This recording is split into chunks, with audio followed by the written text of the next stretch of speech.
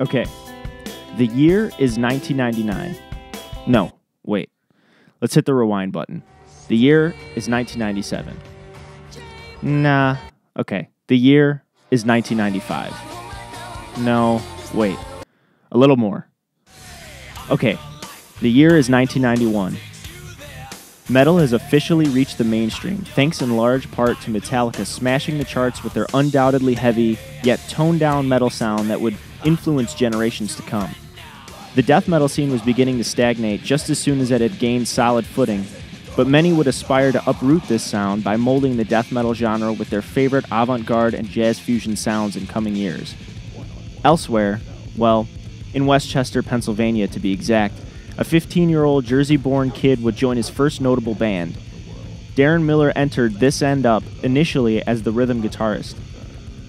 This End Up consisted originally of Andy Libby on lead vocals, John Teague on bass, Rich Vose on lead guitar, Dave Williams on drums, and Deron Miller, who also provided backup vocals as well as fulfilling rhythm guitar duties. This End Up was somewhere in the in between of heavy metal and hard rock, two nebulous and unclear genre names if I've ever heard them. But this end up was, to me at least, a shockingly good high school band. Sometime in 1993, this end up would axe Andy Libby and promote Deron Miller to lead vocals. Though Deron never initially saw himself as a vocalist, he took it upon himself to learn as best as he could. This end up would play live in the local West Chester scene and record three cassette demos from 1992 to 1994.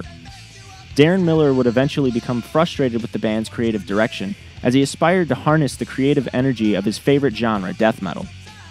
He would show his bandmates songs from bands like Death, Pestilence, Cynic, and the like, but they never quite heard what he had heard in the genre. Despite this, he was optimistic in that his band was relatively popular in the younger local scene. Eventually, this optimism would come to a screeching halt as his bandmates became more concerned with their futures in college than continuing the progress they've made in this end up. As Deron agonized over the impending breakup of his band, he'd make friends with someone who would essentially change the course of his life. While taking a freshman level math class in his senior year at East High School, Deron would befriend Jess Margera over their sense of humor. Initially, when Jess told Deron he was a drummer, it wasn't taken very seriously, and their first jam together was unproductive and unsuccessful. But on their second go around, Deron was impressed with Jess's drumming, and the two would begin to work tirelessly on what would become, in many ways, a spiritual successor to Cynic's Focus and Pestilence's Spheres. This band's name? Foreign Objects. There were several times during the writing and rehearsal sessions for these songs that would almost see the end of this band before it even had begun. But cooler heads prevailed, and what would result was a criminally underrated gem of mid 90s death metal the undiscovered numbers and colors. Foreign Objects would enter Trix Trax Studios in Malvern, Pennsylvania in summer 1995 with the initial plan to record a full length album. This plan would soon be scrapped due in part to Deron's excitement to finish their strongest rehearsed material and Jess getting in a car accident and breaking his arm. Jess would accidentally reveal the details of Deron's new band to John Teague. Deron would happily play their work in progress for John and Dave Williams, which would officially close the book on this end up. Foreign Objects would self release the Undiscovered Numbers and Colors EP on Deron's newly established label Distant Recordings. With a thousand copies pressed up, Jess was able to get the CD sold in local West Chester record stores.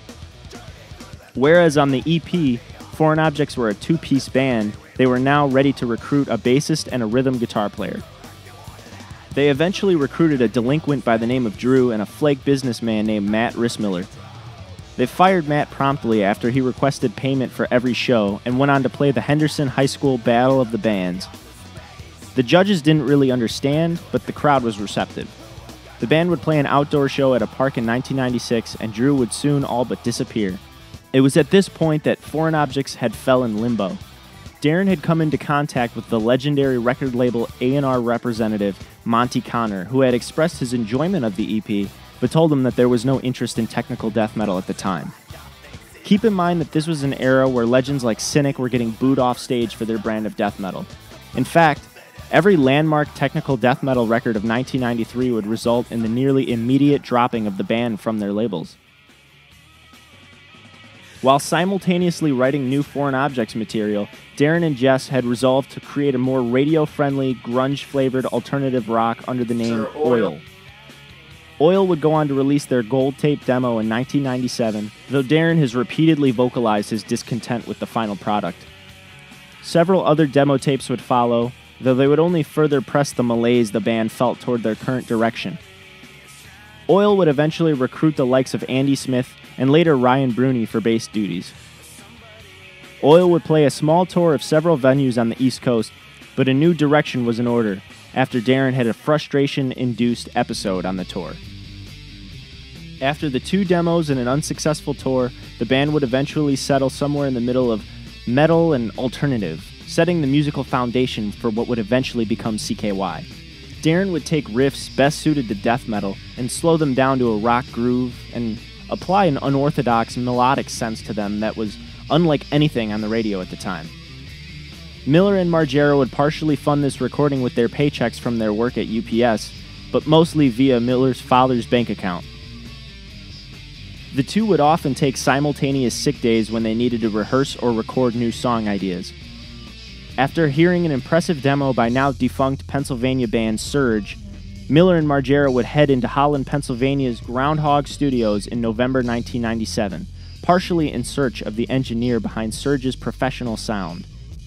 Oh, and by the way, the band went into the recording studio unbeknownst to Ryan Bruni, who would be the subject of unfair treatment during his fairly short time with the band. Then we got Ryan Bruni, who it wasn't good, it wasn't bad, it was just Ryan Bruni. So their search for Surge's producer would lead to none other than Chad Ginsburg. Ginsburg had several years of audio engineering experience under his belt and even briefly had his own band called Rudy and Blitz. Rudy and Blitz was a punk rock trio that seemingly took the Pixies at their catchiest, Mr. Bungle at their most sonically experimental, and Ween at their lyrically goofiest. Or at least that's just how I see it. Rudy and Blitz had nearly inked a deal with Columbia's Ruffhouse Records when it all fell through. This left a sour taste in the mouth of Ginsburg, who held seething resentment for an industry keen on chewing up and spitting out truly passionate artists. This kind of cynical hatred for all things industry endorsed would be shared by Miller and would go on to form the ideological structure upon which CKY would later stand. Miller, Margera, and Ginsburg felt a rapport with each other, and even swapped music. Deron hadn't minded Rudy and Blitz's indie release, Reverb on the Click, and Chad was blown away by an early mix of an unfinished Foreign Objects track titled Disengage the Simulator. Ginsburg was so impressed with their output, he even offered to join the band. Miller and Margera were happy to let him in, and Oil had finally become a four piece band. What one should also keep note of here is that in 1998, while simultaneously working on this demo at Groundhog Studios, Deron had become friends again with former This End Up bassist John Teague. John Teague would go on to engineer and co produce Foreign Objects' first full length album, one that would not see a release until 2004. So things had begun to truly take shape for Oil, but some loose ends needed tying up. Firstly, what was initially started as a demo began to take shape as a full length album. The band was so happy with the progress and fullness of the mixes, they were ready to take their work to the next level. Around this time, Ryan Bruni was finally made privy to the recording of this new album and contributed to about 5% of the bass actually heard on the album, with a large majority performed by Miller. Next was the name. Chad had played with the band a few times as Oil, but he hated the name and implored that they change it. They agreed, but they had several different ideas. The prevailing band name during this short period was now I Dismember Mama, a reference to the obscure 1970s thriller of the same name. This name choice would be short lived, however, when Deron coined the name Camp Kill Yourself while dining at local West Chester joint Amore Pizza. Camp Kill Yourself was now the official name, a unique name for a unique sound. Speaking of sound, Camp Kill Yourself was on another planet in comparison to the generic alt rock and dime a dozen punk of the time. Whereas the written material was exceptional and hard to compare to anything else that was going on, entirely due to Deron's off the wall taste in music, Chad Ginsburg's adept flair for the binaurally experimental added new depth to their sound. Camp Kill Yourself was not only a band with metal flavored rock riffs, but one with a bizarre willingness to try everything and anything when it came to in studio audio manipulation. By late 1998, the band was now in the final stages of progress on their new album.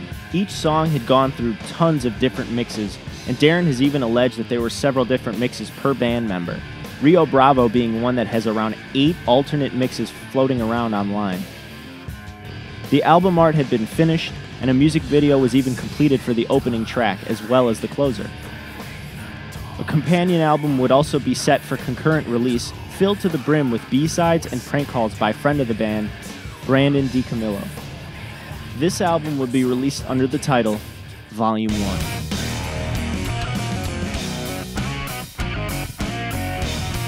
So here it is. An anthem if I've ever heard one. The opening track, 96 Quite Bitter Beings, kicks off with explosive guitar and pounding drums. The primary riff featured in this song is highlighted by its use of single note patterns and alternate picking with an insane thickness, due in large part to the wonders of the Boss OC2 octave pedal. This song would go on in the annals of time as an oft forgotten classic, though skaters and even non CKY fans will recognize this iconic riff. The song itself is short and sweet with a very staccato delivery in the verses. The second verse leads into a thrashy punk esque two chord phrasing that leads into another riff that is a slightly different take on the verse riff. The track circles back to the original riff just in time to keep the listener engaged. The lyrics on here are actually a continuation of a story first told on Oil's The Gold tape. Whereas the Oil song, Thanks for the Ride, seems to only briefly touch on the town of Hellview as a location, 96 Quite Bitter Beings would dive deep into the lore of a remote town gone mad. Think Silent Hill without all the demonic creatures. This story would later be expanded on Infiltrate, Destroy, Rebuild's Escape from Hellview and Carver City's Hellions on Parade, though that entire record is actually set in, I guess, the same fictional universe, if that's what you want to call it. Deron's vocals on this one are just on the borderline between melodic and guttural. With every strained delivery, you get the feeling of unbridled intensity. Jess's drumming locks in with laser positioning, playing so tightly with the guitar riff in a way that I had never experienced before. It's as if he perfectly transcribed the guitar's notes to snare, hi hat, kick, and ride cymbal hits.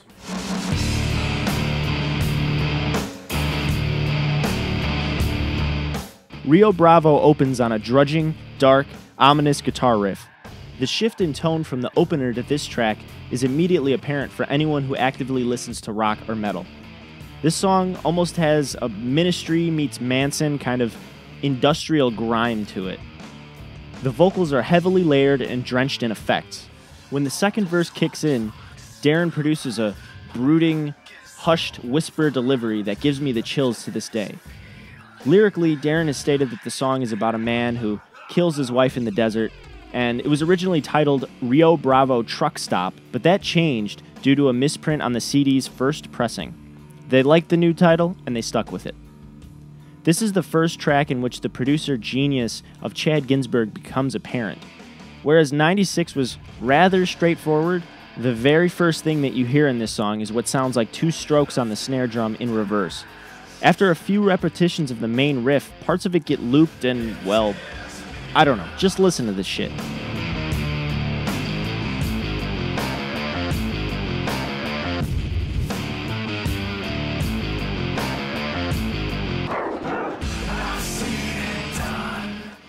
Similar to 96, there isn't really a sung chorus in this song.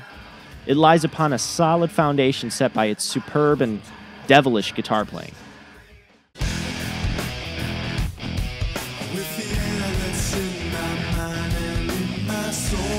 Disengage is probably the most radio friendly song on the record, and for good reason. It's upbeat, happy, it has this whole stoner bro party feel to it. Ironically, the lyrics are somewhat the opposite. On Disengage the Simulator, Deron tells the story of a suicidal guy who drives his car off a cliff only to regret his decision midair. Jess's drumming once again locks in tight to the killer riffs played by Miller. I've never been one to pay attention to bass lines, especially if they're not particularly loud, but the bass line in this song is fantastic and a ton of fun to play. This track probably has my favorite vocal performance on the record, with Deron singing in a low register with some sweet background harmonizing. In my opinion, this one song birthed the quintessential formula that the CKY sound would become in the future, despite the fact that there aren't any noticeable synths or odd editing techniques in it. Again, there's not really a chorus in this song per se, but the riffs are catchy enough to carry the song. Chad would go on to allege that CKY is a band that does not write choruses, but that is a crock of shit. The ending of this song was a subject of debate amongst the band. How to end a song like this? They initially attempted a dark, almost death metal like ending, which didn't quite fit, but it is interesting to hear nonetheless. Check it out.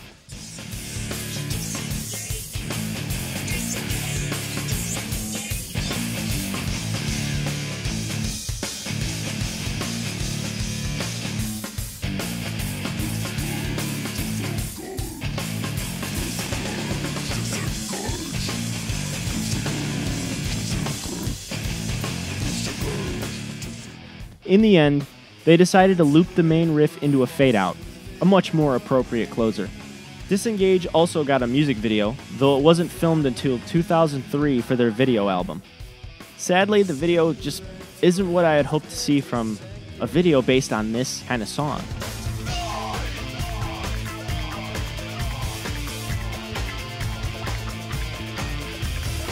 Okay, so maybe you're sitting there saying, um, what are you talking about? There's no variety on this album. Well, you can stop now. The Human Drive in Hi Fi is alternative disco. I really don't know what you'd call this, but it's definitely all over the place, and I fucking love it. There's synths, distorted guitars, shakers, wah effects, you name it. There's even guest vocals by Chad, though they are buried deep in the mix. One mix even features Chad singing the entirety of the verses, with Deron taking the chorus vocals. If That Chad heavy mix was titled Chad's in Hi Fi, and I don't prefer it to the album version, but it is worth a listen.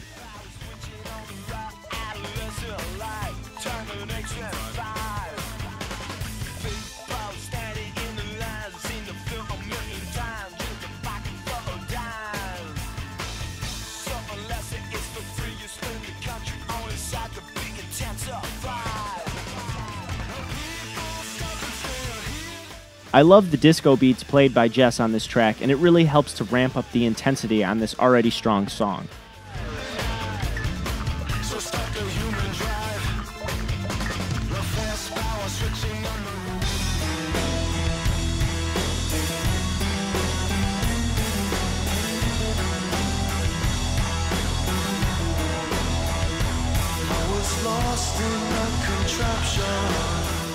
This song has to be one of the more off the wall ones on the record, but I guess that's kind of hard to say after hearing the last one.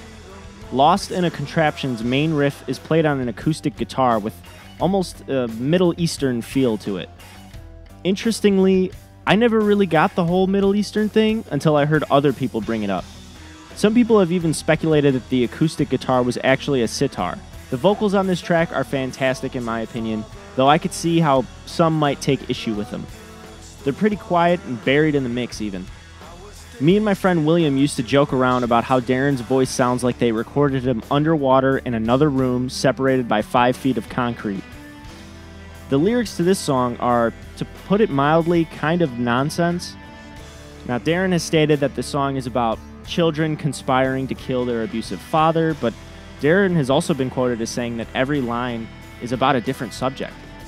I mean, Either way, I think the lyrics are just relatable enough that you could easily come up with a story in your head that could apply to the lyrics.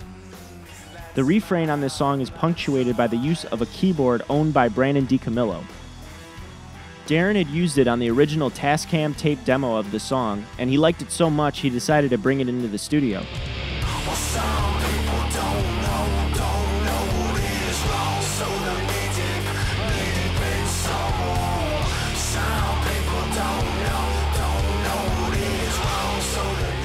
Knee Deep is probably the weakest track on the entire album, but in some ways it stands on its own.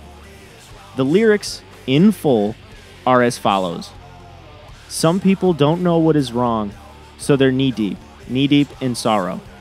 And that is all.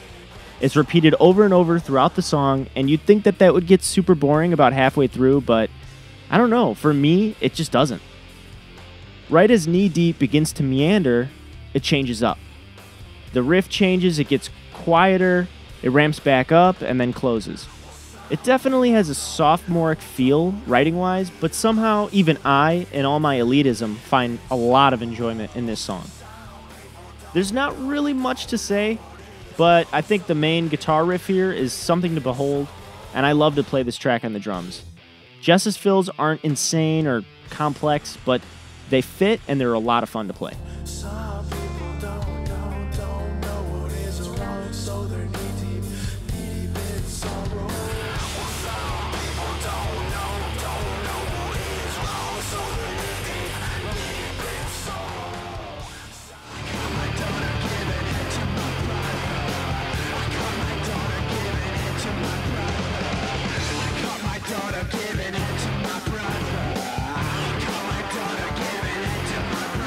My Promiscuous Daughter follows in a similar vein as what was heard in Knee Deep.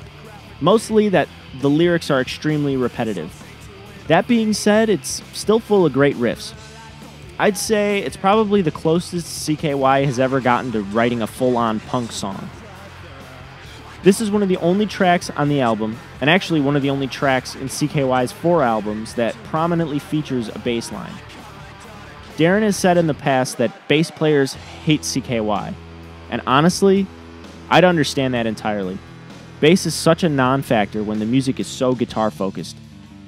This is also the one and only time Jess's vocals are heard in an officially released CKY track. While not a favorite, I definitely come back to this song often. It's super easy to play on the drums, guitar, and to sing. Nevertheless, it is a song that leaves one to ponder upon a perennial question for the ages What can be done with my promiscuous daughter?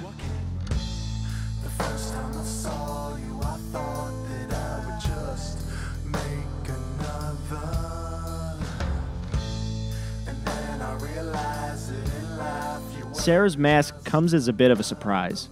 It's sad, dejected, and slower than anything else on the album.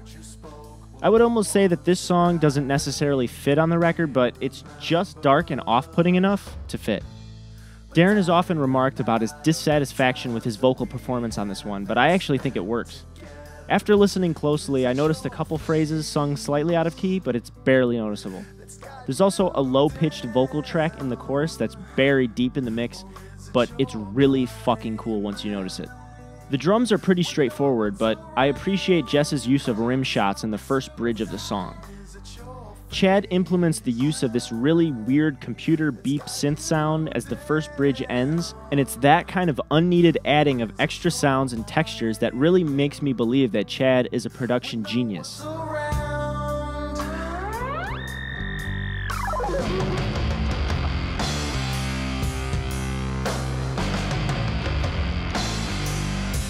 Funny story about this one.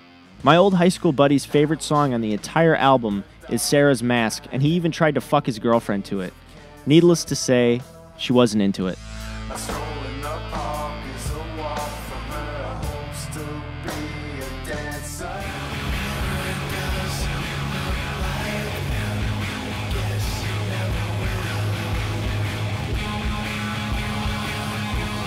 To All of You is one of my favorites for sure.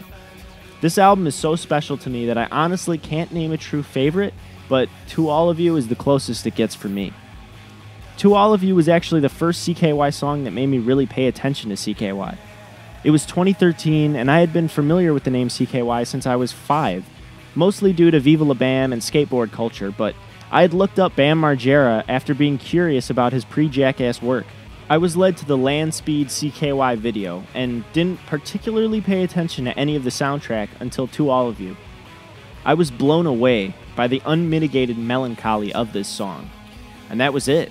I was officially a CKY fan from that day forward. Now, this song, as said by Deron, was actually inspired by My Bloody Valentine's landmark 1991 record Loveless. And to end a rock record in the late 90s with a shoegaze track is just a fantastic move. From this point onward, CKY would leave their most mellow and morose songs as the closers on their albums. Everything from the extremely basic drum playing to the weird guitar layering to the barely audible vocals screams shoegaze, and it's a damn shame that the internet shoegaze community have not really taken notice of this song.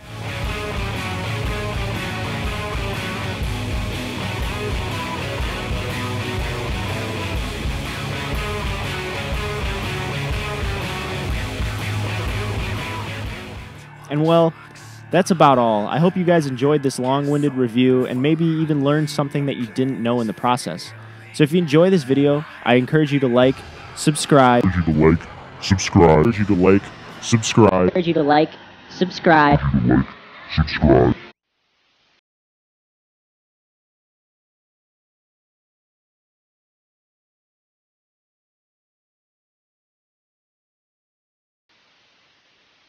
Whoa, whoa, whoa. Wait up. You didn't think I'd forget Halfway House, did you? What kind of plebeian scum do you take me for? So, there's no real reason to review the Rio Bravo reprise, as it's just a tweaked version of the Rio Bravo remix meant to fool the listener into thinking that they've reached the end of the album, followed by a nearly 13 minute low hum. Halfway House, though, is probably the most off the wall song here.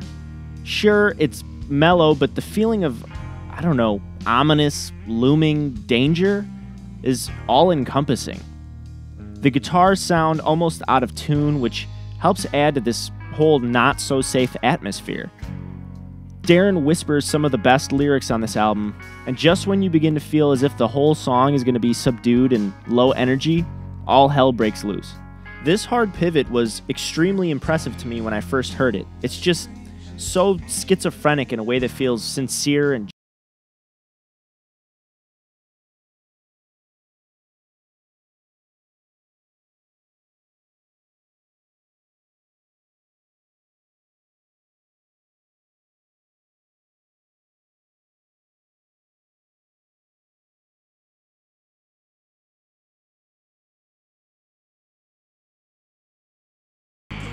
Chad adds some accents on lead guitar here, and they really add some color to the mix. And Jess's more laid back drumming fits perfectly. This song was initially conceived sometime in early 1996 as a high intensity rock song. Most fans actually prefer this version to that which was featured on the album.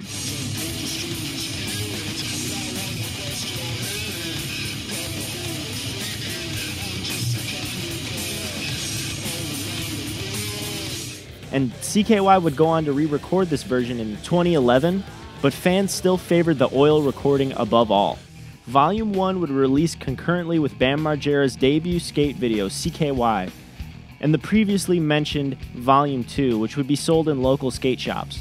CKY, the skate video, well, okay, for those in the know, let's just call it Land Speed, would feature nearly every song on the album, as well as a host of B sides and foreign objects songs, which would also end up on Volume 2. Volume 1 has seen a ton of repressings, remasters, and re releases over the years, the first few mostly as a result of their name and artwork. Camp Kill Yourself was an intriguing name, but after getting picked up by Volcom Entertainment, it would draw the ire of some of the higher ups there, and the band was forced to change their name. At which point, Volcom had ordered all copies with the original name and artwork destroyed. According to legend, the band snuck out of the pressing plant with just under a thousand copies to sell on the 2000 Warped Tour. Very few of these particular Volcom Volume 1s are still floating around, and if you do happen to come across one online or elsewhere, don't expect it to come cheap. And the fourth overall pressing of the album would be one hated by the band. The album's title was now CKY, with the band name being Camp. The next pressing would reverse the two, and the final Volcom Entertainment pressing would be under the title Camp Volume 1. The band would finally solidify the album's title after Island Records released the remastered edition in 2001. Volume 1 would put CKY on the map, and its songs would be featured on MTV's Jackass and in several video games, most notably Tony Hawk's Pro Skater 3. The 96 Quite Bitter Beings video would receive moderate airplay on MTV, which would further boost album sales and popularity. To this day, Volume 1 has sold somewhere over 220,000 copies, a great success for such a non conforming band. In 2000, CKY would fire Ryan Bruni just before the Warped Tour and would gain new live bassist Vernon Zaborowski, or just Vern, who was known for his ridiculous and off the wall stage presence. The stage was now set for CKY to dial in their sound and capture new listeners. They would head into the studio with a strong and dedicated fan base backing them, a label that they truly felt believed in them, and a sense of direction for the future. The following album would be, in the eyes of most, CKY's magnum opus, and become their most popular record to date. So there you have it. The video's actually over now. So uh, if you did actually enjoy this, I'd wager to guess that there's more where this came from. So hit the like, hit the subscribe, but uh, make sure to tell your friends that there's this guy doing super long music retrospectives that aren't about the same fucking shitty overplayed rap and pop albums. I'm a darker standard. Peace.